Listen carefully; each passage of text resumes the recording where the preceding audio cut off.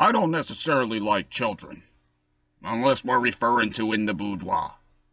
Timothy, you're on the air from Nantucket. Talk to me, Timothy.